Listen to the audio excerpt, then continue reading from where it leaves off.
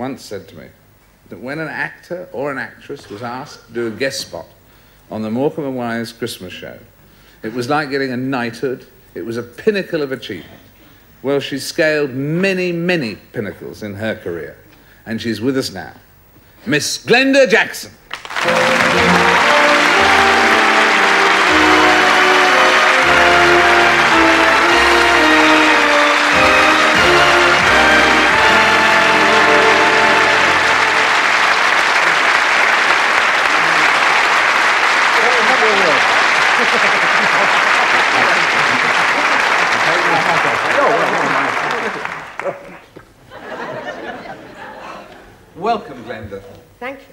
Can you remember what your first memory was of these, of these young fellows here? Well, my strongest memory actually is of aching ribs because we rehearsed, I can't remember how many days it was, and I've never laughed so much in my life, and I literally was aching by the time we came to do the show. It's really not like working with them. It's like I always say, holiday with pay, really, to be asked to be on their show. A rather strange holiday, very paid? little pay, Yes, but yes. nonetheless. It's like working for Leyland, is it? Yes, That was very nice. very yes lovely. Thank What you was, very what was your first impression of Glenda, the two Who? of you? Glenda. Oh, I don't know. Well, we really didn't think she'd come on the show. No. I mean, we were... It wasn't us. We, we, we, we really didn't have the nerve to ask, did we? No. Our producer, Johnny Hammond. Johnny Ammon said He asked. I said, no, don't do it well with us. she said she'd like to do comedy. It was in the Times or one of the newspapers, and, uh, and That was a newspaper at the time. Times. Yes. yes. It still is. It's, it's good. Again. And, and she said she'd uh, like to do comedy, and Johnny Ammonds phoned her up and said, "Would you like to appear with Eric and Ernie?" And she said, um, Yes, immediately. "Yeah." It was lovely. And it had very beneficial after effects, didn't it? Indeed, it did, because out of appearing on that first Morecambe and Wise show, um, I got a film out of it, a film called Touch of Class, because the writer, producer, director saw the show and sent me the script, and I said, yes, I'd do it. And I got an Oscar out of that, and they sent me a telegram, and uh, it, what was it? Stick with us, and we'll get you. Get a you another one. Yes, you did. You got another one as well. Right. The interesting part is that we did this sketch called Cleopatra with Glenda, and uh, this was what got her this wonderful offer from the film. And uh, It was a play that Ernie wrote. I was to play that I It wrote. also got me the offer to do Cleopatra at Stratford. Let's not be modest. That's Oh, yes. true. That's true. Yes. Be fair. What did others actors and actresses think about you appearing with Morecambe and Wise? Well, did they think it was not classical enough? Or were- Green with envy. Green with envy. I've never seen What are green actors so actors about envious. Incredible Hulk wanted to do it. Yes. but we didn't have a shirt big enough. Well, what, what are you doing at the moment, Ernie, exactly there? Sc- Sitting here talking to you. Oh, what? Scribbling. Oh, I'm writing a play. yeah. I'm writing a play for Glenda. Oh, Ernie, that's marvellous. What's it called? Hamlet. It's about a cigar. What I'd like to know is what am I playing? Hamlet. You play Hamlet. don't? Hamlet. But I'm a woman. They all say that. They all say that, don't they? Oh, hey? Well, could you perhaps show me something? There's no answer to that. There is, but it's no. It's No, I'm cold weather, you know. A scene, A scene. a few lines I could perhaps look at. Has the Queen Mother come in? No. Oh, stand up, the Queen Mother. Oh, no, you're American. You don't have to. It's all Yeah, right. yeah. It doesn't matter. Come into me. Don't keep doing that. Now, in this, Glenda, I play the part of Polonius. Polonius. Polonius. Now, just before your big speech, you stab me behind the arrows. Yes. This is it. This is it. This is the, your big speech. Your soliloquy, as they call them. To be or not to be? Excuse me. Excuse me. Hold it, boys. Are you doing it now? Doing what? Acting. Are you acting now? Yes. Could, could, you, could you act just a bit louder? To be or n- Not too loud. You're waking David up. Eric, she's not quite getting it right. There's a lack of motivation. Yeah, you'll get laughs, but not the laughs we're after, you No. see. You see, you've got to do it more like Cagney. To be or not to be. And then into the Bygraves. That ain't the question. Want to tell you a story. Say all that kind of stuff. Then after that, you can do who you want. Hmm.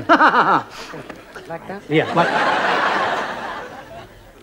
To be or not to be.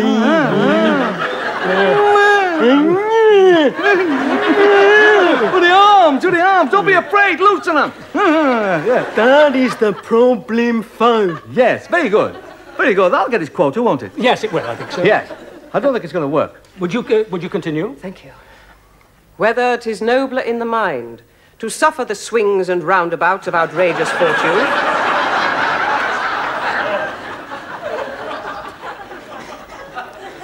Or to take arms against a sea of troubles, and by running, hop it.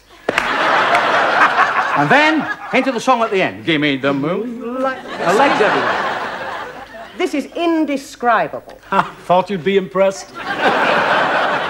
No, I'm sorry, you, you misunderstand. Yes. I cannot appear in this. I have to think of my reputation. We're only asking you to act. nothing. Nothing sordid. Well, all right, if you don't want to do my play. Please, please, I don't wish to upset you, and I do wish to earn my 30 guineas. 20 guineas. 30. 20. 20, 20 guineas. 30 if you were good. Well, is there perhaps. is there perhaps something else I could do? You would like an alternative, is that what you're trying to say, Glenda? If that is possible. Of course there is. I'll think of something brilliant. Could I have a word? uh, Certainly. Excuse us. Would you just excuse me? What do you want, man? Let me do uh,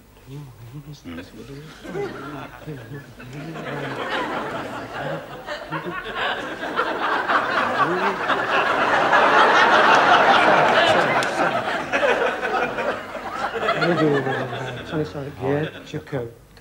Get your Shake us off on the Leave your worries. Leave them on the don't. Don't street, ha ha ha, the trouble on the sunny side of the street. Great, Great, okay. great, knock up. What a great number we're going to do. Yeah. What's it called? Side by side. I'll tell you what. There's three chairs over there, look. Yes. Now, we will sit in those. Yes. Nothing could go wrong, could it? And we'll sing side by side. Fair enough? Fair enough. You'll do that. Over there. Over there. Thank you. We'll do it together. Right there. Don't keep doing that. Just sit there and dream about Nixon.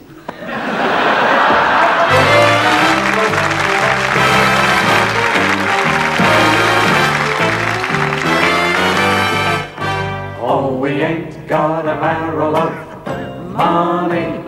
Maybe we're ragged and funny, but we'll travel along, singing a song side by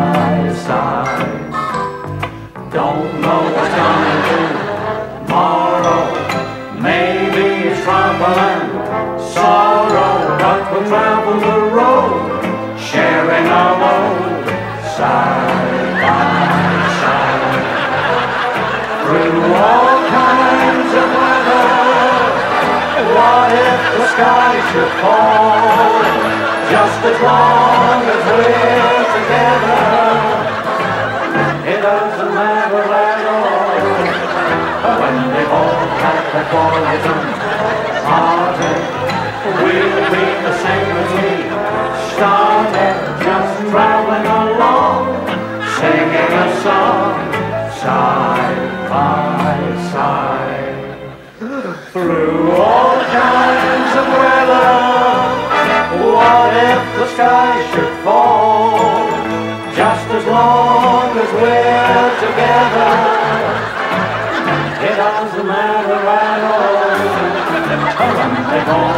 When they've all heartache, we'll be the same as we